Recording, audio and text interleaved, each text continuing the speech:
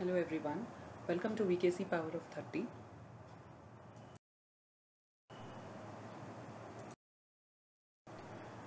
The topic which I'm going to discuss today is on secretarial audit.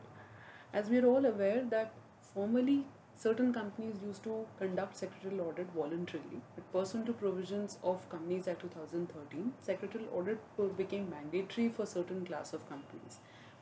And thereafter the form format in which the secretarial audit Uh, is to be reported and to be annexed to the board report was prescribed by MCA and recently the same has also been mandated by SEBI pursuant to SEBI LODR Amendment Regulations 2018.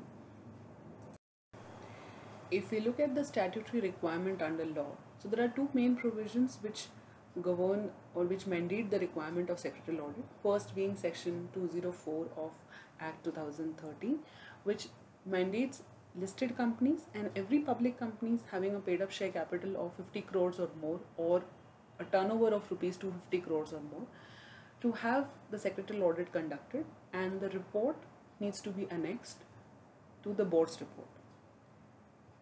Recently, SEBI has inserted Regulation 24A in SEBI LODR Regulations 2015, pursuant to which every listed entity and every material unlisted subsidiaries incorporated in India are also required to conduct secretarial audit and annex the report in the format which is yet to be prescribed by SEBI in the annual report with effect from the year ended March 31st, 2019.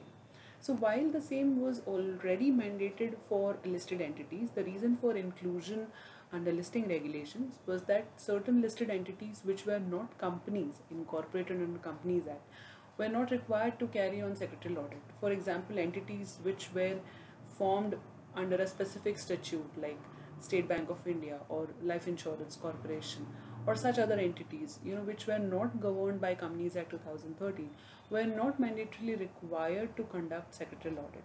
Pursuant to insertion of Regulation 24A, such entities being a listed entity will also now be required to have secretarial audit conducted and will be required to annex the said report in the annual report from, from the year March 31st, 2019. In this presentation, I intend to discuss on what should be the focus areas while conducting the audit, what should be the approach while conducting the audit in order to ensure that uh, the compliances are checked appropriately as well as recommendations for best practices are made appropriately to the entities. So now we discuss on how to determine the focus areas. The audit focus is important because that forms the basis of uh, determining what all things will be checked during the secretarial audit. And in determining the same there are certain main criteria.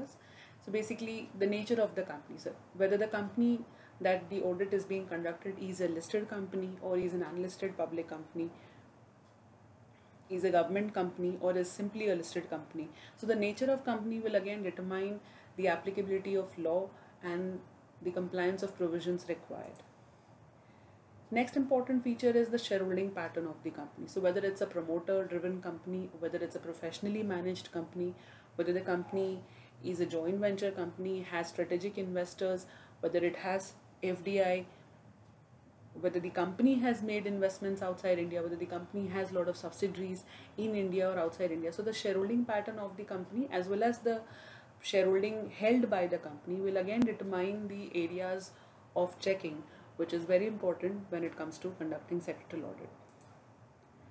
The investments of the company. As I discussed, the subsidiaries floated by the company in India or abroad, whether the company has entered into a joint venture and formed another entity, whether the company has made mm, significant investments forming associate entities. So the investments made by the company will also determine the audit areas sector in which the company is engaged. This is very important in order to determine the sectoral laws that are applicable to an entity. For example, if a company is engaged in a financial sector, is an NBFC, then RBI Act and the directions and regulations which are prescribed by RBI becomes applicable on this entity. Similarly, if the company is a housing finance company, then NHB Act and the uh, regulations and directions which are prescribed by the National Housing Bank will also become applicable to your checking. So therefore the focus area will also depend on the sector in which the company is engaged.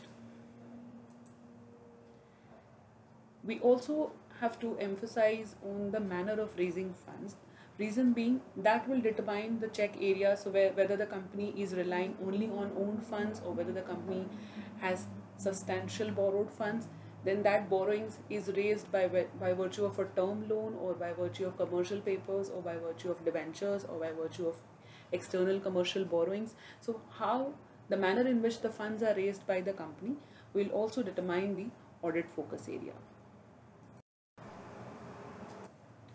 One of the most essential checking that a secretarial auditor has to do on an ongoing basis is the composition of the board of directors. Whether the composition is perfect as required under the law, whether it has a right balance of executive and non-executive directors, whether it has a right balance of the rotational and non-rotational directors, whether the required number of IDs or the women directors are present on the board, whether the changes that happened during the year were compliant in accordance with provisions of law. Because several times during a financial year there are several changes that happen in the board and therefore it is essential to ensure that during the financial year as well as as on 31st march the composition of board is compliant with the requirement of companies act 2013 and sebi lodr regulations Next, we move on to board and committee related compliances. We are all aware that in addition to the board of directors, there are certain committees which are mandatorily required to be formed by a company pursuant to provisions of Companies Act as well as SEBI LODR regulations.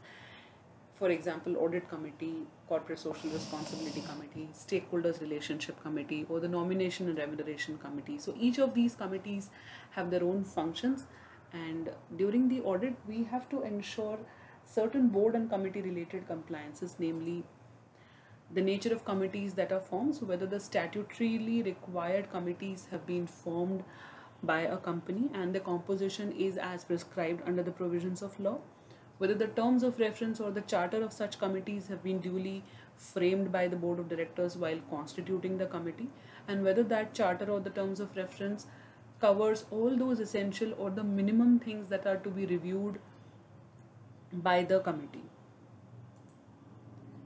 Next crucial thing to check is the flow of information. If we only restrict ourselves to the minutes, then we would not know whether the flow of information is proper or not. Every information that emanates from one department ultimately has to flow down through one or the other committee to the board if it is required under the provisions of act and that flow of information has to be gauged from the manner in which the disclosures or the information is provided in the agenda and the agenda papers, the discussions that happen in the meetings, and accordingly how it is recorded in the minutes, and thereafter further actions are taken in, in relation to those decisions. Powers delegated. So it's we are all aware that it's not the board of directors that carry out all the functions which is required to be performed in a company. So there are certain functions which are delegated by the board either to an executive committee or a committee of directors or maybe certain authorized officers or the principal officers of the company. For example, power to borrow, power to invest. While the board would determine a, a broad threshold and delegate the power to a committee or a set of officers. In those cases, it is essential to determine whether the power that has been delegated was firstly permitted under law to be delegated or not. Whether the delegation is an absolute delegation or a conditional delegation. So it is in case of power to borrow. So it's not that the board can simply delegate the entire power to borrow which has been sanctioned by a shareholders to a committee. So that that power is delegated in phases and the same is also delegated along with certain conditions. The broad parameters for in relation to the power delegated is also set by the board within which the delegatee has to function and accordingly report back to the board of directors. So whether this is ensured or not also forms an important part of checking during secretarial audits. Effectiveness of meetings and decisions taken. Now this is something that has to be gauged from the kind of disclosures, from the kind of items that are included in the agenda the discussions that happen during the meetings and how the same is monetized to uh, to gauge whether the meetings are actually effective or they those are just paper meetings. The extent to which the matters are brought before the board or mostly they are case of ratification that gives you a fair amount of idea about how effective the meetings are. Whether the decisions taken at the meeting are thereafter monitored whether there is a practice of placing the action taken reports till the matter is concluded or till the matter is resolved that also gives you a fair a fair uh, example of whether how effective the meetings are and how the decisions are taken.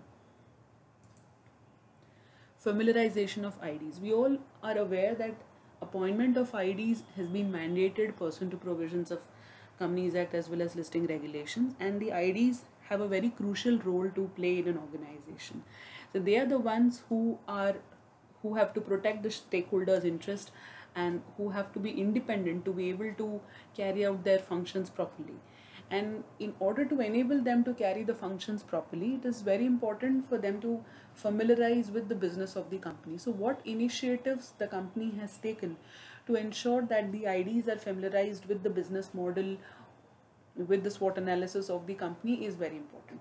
Certain times you may come across during audit that in the separate or independent directors meeting there is a recommendation made by the IDs that they need to be more and more familiarized with the business of the company as they are majorly involved in determining the remuneration by being part of NRC committee.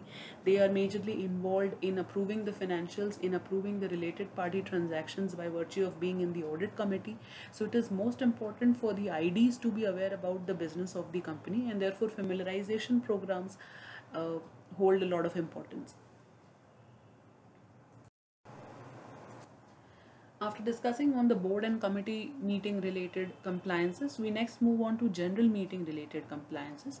So broadly the things that needs to be checked during an audit would comprise of whether the required approval for mandatory items as provided in the provisions of act as well as SEBI regulations have been obtained or not and whether the same have been obtained in the manner prescribed. So where an approval by virtue of a ordinary resolution is required or where an approval by virtue of a special resolution is required, whether the same was obtained for the mandatory items or not during the period under review. Secondly, and most important, whether the disclosure in the explanatory statement was in accordance with that prescribed under the provisions of law.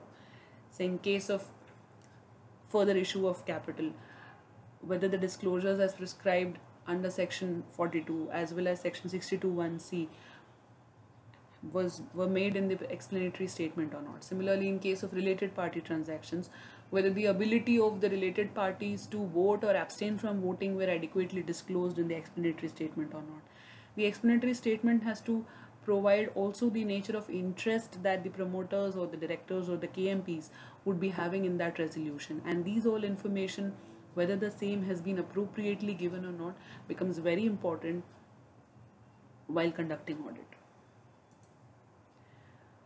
manner of voting related compliances. So where it's a company which has to mandatorily provide the facility of electronic e-voting or where the voting at the meeting happens by virtue of poll or where the meeting is uh, conducted by way of postal ballot. In all these cases those specific compliances in relation to e-voting conducting of poll or postal ballot related also needs to be checked thoroughly presence of required persons at the general meeting. So we are all aware that the chairman, the directors, the chairman of the audit committee, the chairman of stakeholder relationship committee, mm, representatives of the secretarial auditor, stat auditors are all required to be present at the general meeting. So that also forms a part of checking whether the minimum number of people who were required to be present at the general meeting were present or not post general meeting compliances this would range from the disclosure requirements to the stock exchange maintenance of minutes the required form filings as well as the actions to be taken pursuant to the shareholders approval. So that all will comprise of checking under the post general meeting compliances. Now we discuss on the key provisions under the act 2013 which needs to be checked while conducting an audit for any kind of companies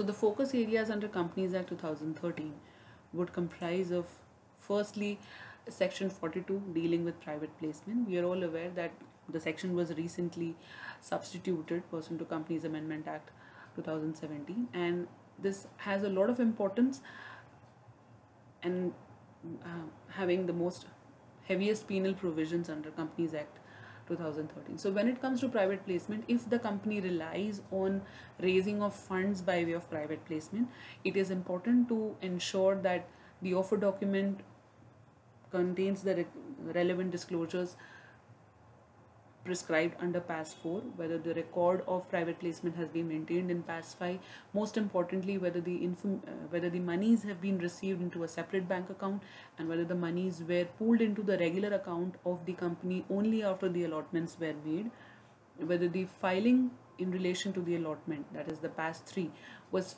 filed within the prescribed time until then the money was not utilized. So all these things form part of checking when it comes to uh, section 42 dealing with private placement.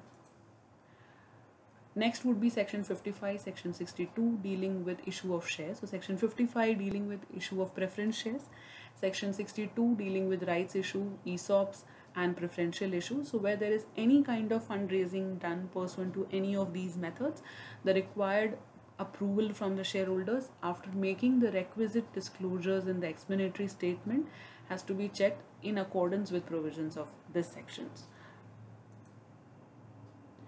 Section 71 dealing with debentures. Debentures, if the same is not raised in compliance with provisions of this section, it is likely to be regarded as public deposits and therefore this the compliance of this section becomes very crucial.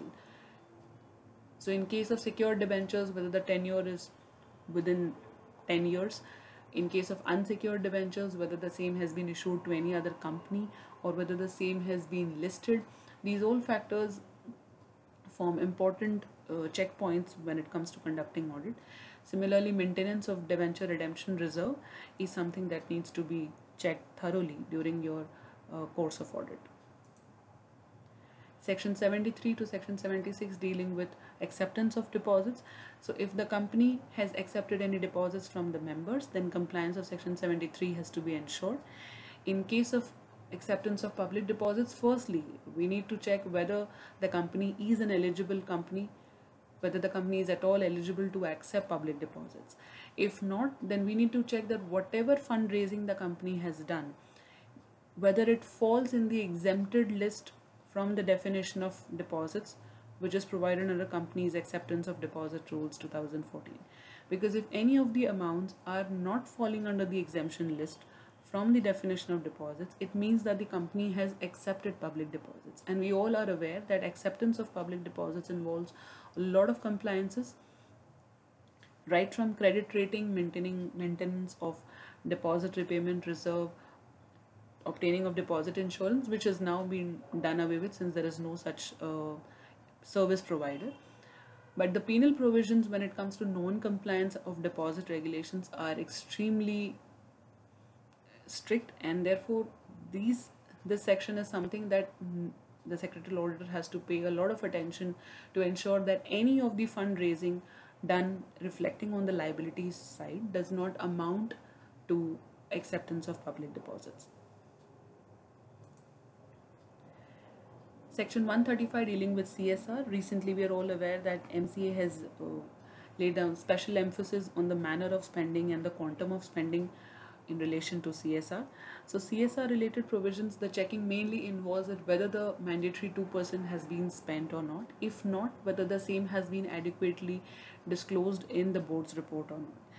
Where a company is unable to spend the entire 2% in a particular year, it is essential to ensure that the said amount is carried forward to the next year and then the same is spent in the next year. Where the amounts have already been spent, it is very important to assess whether the same was spent directly or through implementing agencies. Where it is through implementing agencies, then whether some kind of monitoring report was obtained subsequent to spending. Because in any case, the amount spent should not appear or should not be a donation. It has to be a spending wherein the amounts the end use has to be monitored and accordingly the subsequent disbursement of funds for the projects has to be determined so csr committee plays a very important role if in case during the course of audit you observe that there were no CSR committee meetings or maybe one CSR committee meeting, then recommendation can be made that maybe the spending has to happen throughout the year and not just at the year end to meet the 2% target. Section 177 dealing with composition of audit committee as well as the functions of audit committee is one of the most important sections. The reason being the scope of audit committee is very crucial because they are the ones who scrutinize the loans and investments. They're the ones who who approve all the related party transactions and the modifications thereof.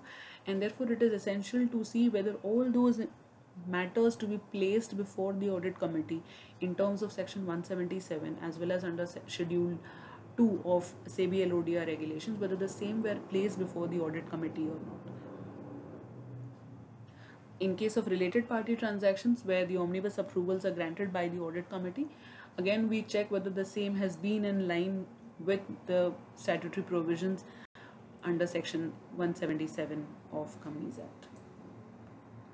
Section 184 dealing with disclosure of interest by directors. This becomes one of the most crucial sections because in case of any violation of this section it results in vacation of office as per section 167 and therefore we need to assess whether the directors who are interested in case of private companies they they can definitely disclose and participate but in case of public companies listed companies if they are interested they have to abstain from discussion and should not be present during the discussions. And the contracts in which the directors are interested needs to be adequately recorded in the register of contracts where directors are interested. Section 185 especially in the current financial year it, the checking under 185 becomes important because for the part of the year furnishing of loans to any director or entities in which directors are interested were prohibited. And pursuant to the recent amendment section 185 now prohibits loans only to directors relatives of directors and the partnership firm in which the director or relative is a member. But apart from that the private companies in which director or relative is a member or director as well as the public companies that is now permitted. So section 185 is now partially prohibited and partially permitted. However there is a requirement of a special resolution at a general meeting wherein the requirement for granting of loans has to be adequately disclosed in the explanatory statement. So accordingly 185 becomes one of the most important provisions for checking.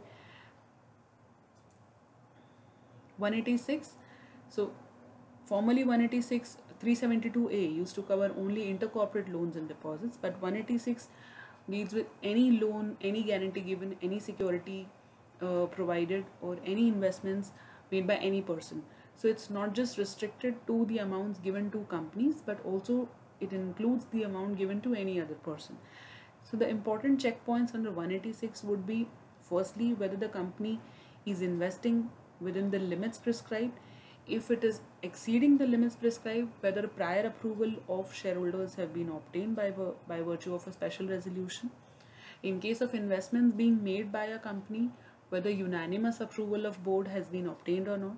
In case of loan being granted, whether the loan is granted at the interest rate which has been prescribed under subsection 7 of 186, whether all the loans given, investments made, guarantee given have been adequately recorded in the register prescribed under section 186 and lastly if a company is not complying with provisions of section 186 one needs to see whether they are falling under the exempted class of companies prescribed under 186 level.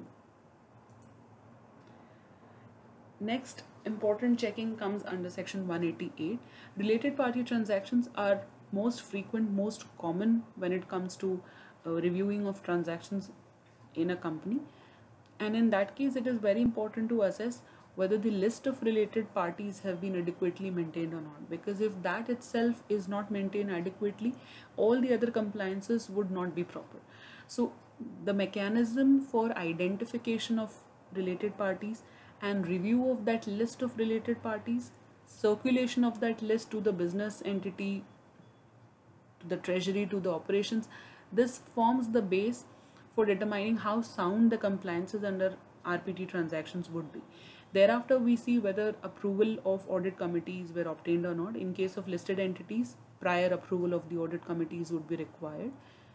If the transactions undertaken by the company are in ordinary course and arm's length basis, then the same need not be placed before the board or the shareholders. But if it is either not in the ordinary course or not on an arm's length basis, then approval of board, prior approval of board would be required, wherein the interested directors would have to abstain from voting and not be present during the discussion. And such transactions have to be adequately recorded in the register of contracts as well. If the transactions cross a materiality thresholds, in that case, prior approval of the shareholders is also required by way of an ordinary resolution and wherein formally only the parties related to the contract were to abstain from voting. However, pursuant to the recent amendment, 90 if 90% of the members in number are promoters or are relatives of promoters or are related parties, only in that case they can vote. Otherwise, all related parties have to abstain from voting. So when it comes to section 188, we need to see whether the list has been properly maintained, whether the hierarchy of approvals have been followed, whether all the disclosure requirements have been complied or not. While checking of particular compliances forms an important part of conducting the audit, ascertaining the adequacy of the compliance system also comes within the purview of your audit. So whether the company has an adequate compliance system which is commensurate with the size and operations of the company is very important and this will you will gauge from the manner in which the compliance reports is served periodically by the company secretary and placed before the board. So how do you ascertain the elements of a compliance system? So firstly, we see whether the identification of laws which are applicable to an entity has been done by the board or not. That forms the basic requirement to form or to assess the effectiveness of a compliance system. So whether the companies, if the company is engaged into production, then the labor related laws or the environment related laws becomes applicable. Similarly, if it's in a marketing company, then the intellectual property or trademark related laws would be applicable. So based on the activity of the company, whether the board has identified the applicable laws and then whether each of these identified areas have a risk owners or an owners who would be responsible for the compliance under the said requirements and then the periodic reporting by each of these owners will also be checked.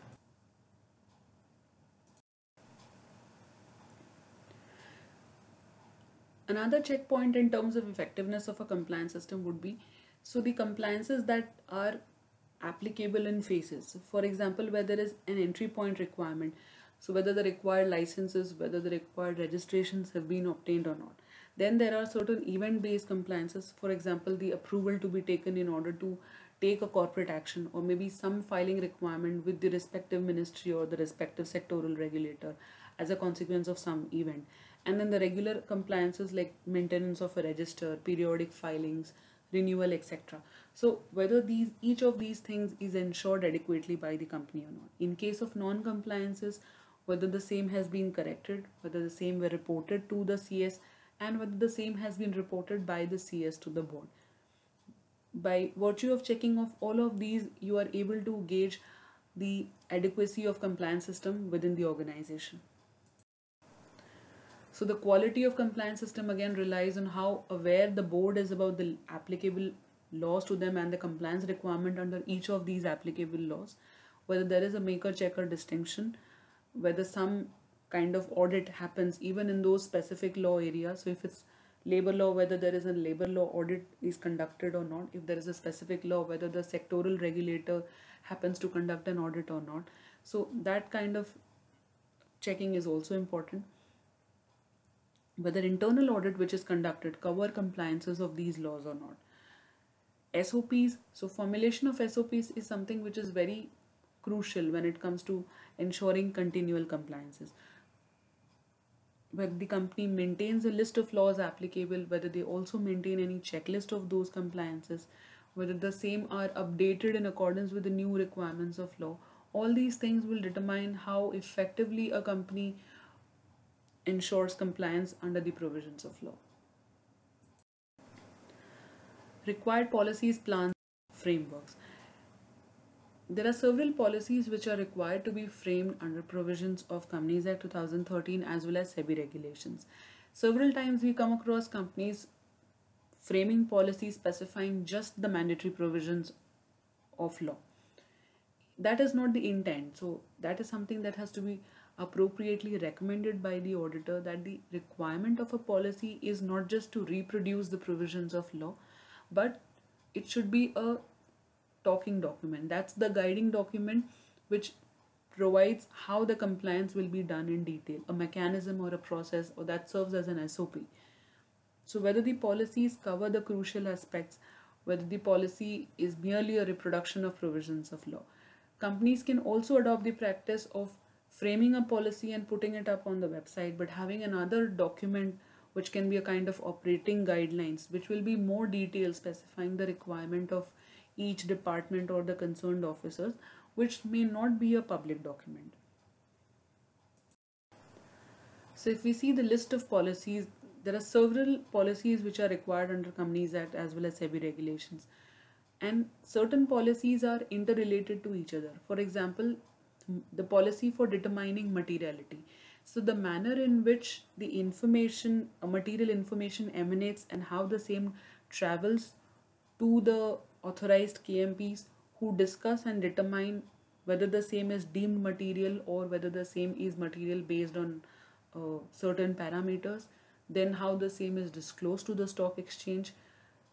This becomes compliance under regulation 30. But at the same time, if it's a material information, it also requires closing of trading window and at that time the code of conduct for prohibition of insider trading comes into play whether the trading window has been closed in the manner prescribed under the code whether any preclearance which were required to be given were given as per the code in case of violations whether the same were reported to sebi and when this material information is to be disclosed to the stock exchange at that time the code for fair disclosure which is framed under PIT regulations becomes important. So all these three policies are interconnected. Similarly, the NRC policy, does it only specify the criteria for appointment or it also lays down the manner in which the remuneration shall be decided, whether it also combines board diversity policy, the criteria for appointment of MD and directors within the same. So each of these policy has to be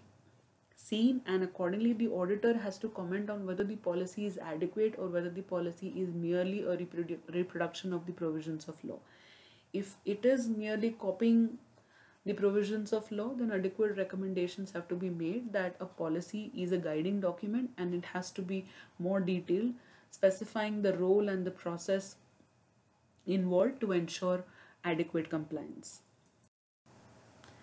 Compliance under listing regulations.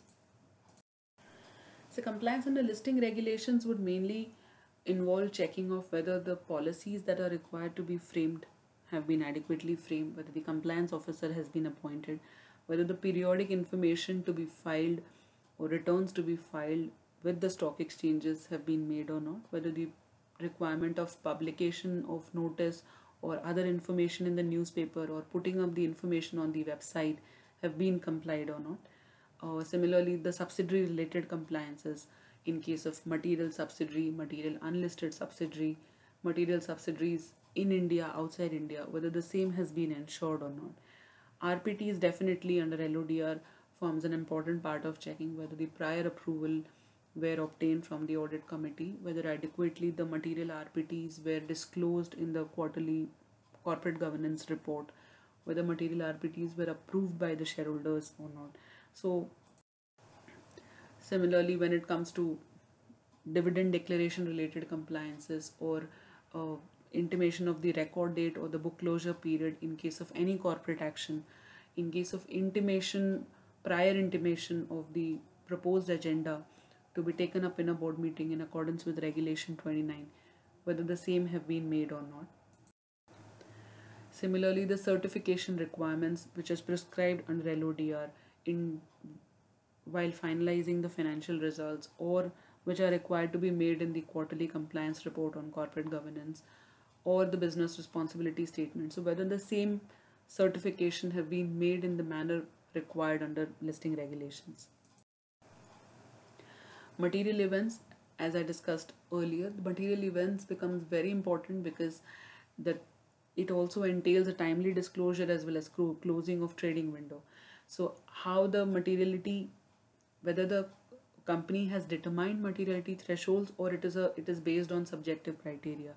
There are certain items which are deemed material and the occurrence of those events have to be disclosed immediately within 24 hours to the stock exchanges. But those which are to be regarded material after applying the materiality thresholds that needs to be ascertained whether the company has adequately framed objective criterias or not whether there is a committee of KMPs who determines materiality in that case whether the discussions are appropriately recorded minuted that is also crucial. PIT regulations. So PIT regulations mainly entails two compliances. Firstly the appointment of the compliance officer. Secondly framing of the two codes which is code of conduct for prohibition of insider trading and the code of fair disclosure so under code of conduct we need to see whether the designated persons have been extensively covered whether the pre-clearance limit has been appropriately provided uh, the reporting by the compliance officer periodically whether the same is done to the chairman of the audit committee or the board and in case of violations whether the same is reported to SEBI adequately or not. Similarly, in case of code for fair disclosure, we need to see whether uh, the chief investment relation officer, the same has been appointed, whether the functions are prescribed appropriately in the code, whether the company has a practice of maintaining a silent period, that is, when there is any material event or any unpublished price sensitive information in the company for example end of quarter and where the company is in the process of finalizing the financial results the board or, or any of the senior officials they don't interact with with the media. They obtain uh, they maintain something called as a silent period. So whether the company has such a practice. One of the major checkpoints under PIT regulations is that whether the employees are sensitized about the requirements under PIT regulations or not. If you come across several violations in the periodic reports which are submitted to the audit committee, it only means that the employees are not adequately sensitized about the provisions or the compliance requirement under PIT regulations. What were the nature of violations, whether they were non-obtainance of pre-clearance or contra trade or non-disclosure in case of trading beyond the threshold or it were communication of UPSI so how serious were the uh, violations and what were the actions taken by the company on those employees in addition to reporting to SEBI is also something that needs to be assessed. What is the mechanism or how robust is the mechanism which is adopted by the company which facilitates the employees to report the trades on a real time basis, whether they have come across or come up with mobile applications or software or intranet to ensure that the employees are able to apply timely on a and also intimate the changes on a real time basis. Maintenance of gray list is something which is very crucial where the company is of a nature which is uh, which has access to the unpublished price sensitive information. For example a, a banking a bank or a lending institution wherein they are exposed to the unpublished price sensitive information of the borrowing entity. In that case the compliance officer of the lending entity has to maintain a restricted list confidentially so as to ensure that the concerned officer sanctioning the loans or who the concerned officer who has access to unpublished price sensitive information of some other company is not able to trade in those shares. So the concept of gray list is something which is not adequately implemented by the companies and wherever there is a scope it is the duty of the auditor to make appropriate recommendations analyst meet is also something which has to be checked that what were the frequency of analyst meet and whether the same were adequately intimated to the stock exchanges. Whether the company follows a practice of informing the schedule beforehand or the company does a post facto intimation of the analyst meet. Trading window related disclosures uh, whether the same were made to the stock exchange. More than the stock exchange, the trading window closure intimations have to be made to the designated persons and the connected persons so that they don't trade when the trading window is closed. Whether the company follows a practice of selective trading window closure, because it may happen that certain departments have access to the unpublished price sensitive information prior to the same is even placed before the board so accordingly that department will have the trading window for such department will be closed for a longer period as compared to the all the other designated persons. So this is something what is the mechanism which is followed by the company is also to be checked and wherever there is a scope appropriate recommendations also needs to be made. The disclosure requirements the initial disclosures as well as the continual disclosures whether the same were made on time is also something which needs to be checked appropriately. What were the nature of violations whether what were how many instances of contra trade were existing during the audit period? What were the nature of violations and whether the same were adequately reported to SEBI, whether the actions were taken by the company against such employee, director, or a KMP is also to be seen. Next, we come to uh, SEBI takeover, wherein the compliances to be checked mainly comprises of whether there were any acquisitions which resulted in triggering the public offer, uh, open offer requirements, whether the disclosures which are required to be made by the promoters have been adequately made or not. In case of uh, annual disclosures or on creation or a continual disclosures in case of change in the holding or in case of encumbrance or creation of pledge and release of pledge. So there are two point two aspects from which checking under takeover code happens. One is where we see the entity for which we are conducting the audit as the target entity and then we check compliances whether they have received the relevant disclosures and have made onward submissions to the stock exchange or not.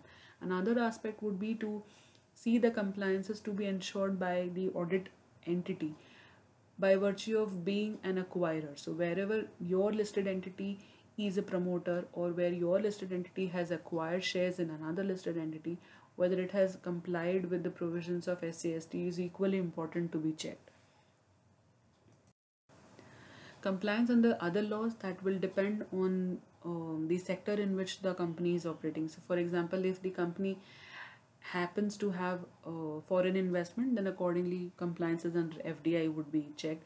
If the company relies on external commercial borrowings uh, for raising of funds then in that case ecb related checking will be done. If a company has subsidiaries outside india in that case odi related compliances also needs to be checked. SEBI regulations will become applicable depending on uh, the activities of the company. So, wherein a company is raising funds pursuant to which ICDR or ILDS or NCRPS becomes applicable, or it is issuing ESOPs to the employees, in that case, those specific regulations will be checked. Secondly, based on the nature of the entity. So, if the entity is a merchant banker or a broker or a portfolio manager or a research analyst, then the respective SEBI regulations as applicable to those entities, compliances under the same will also needs to be ascertained. Similarly, if the entity is a mutual fund or a pooled investment vehicle, for example, REITs or AIFs, then the compliances involved under those respective SEBI regulations will also be required to be seen. Specific law that is applicable to an entity pursuant to uh, some kind of registration that an entity has with a sectoral regulator as in case of an NBFC or an HFC that will also needs to be determined so secretarial audit is something it's not just about checking at the end of the year but that is where it, that requires an audit preparation and concurrent checking maybe at periodic intervals to ensure that the quality of checking is not compromised and we are able to ascertain the compliances under the applicable laws at an appropriate time. Thank you very much. For any queries, you can email the queries uh, to the IDs which are provided in the presentations. Thank you very much.